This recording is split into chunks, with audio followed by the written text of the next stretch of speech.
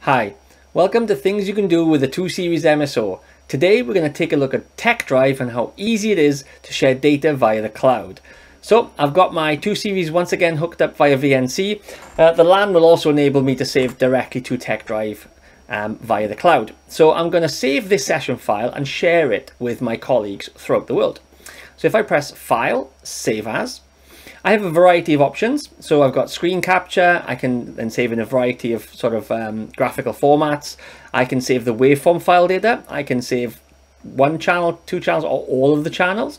Uh, but with this one, I want to select the session file. So make sure TekDrive is selected. You have a variety of options. So the built-in memory on board or TekDrive, which is the one we're going to choose today.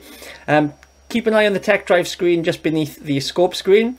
So when I press save, this will then save the session file and upload it automatically to the cloud. And it should appear, which it has done, which is great. So it's already appeared as a session file within Tech Cloud. So if I just press the three dots, I can then open it up. And I can then immediately have access to the, the data. I can even download each individual channel or them all.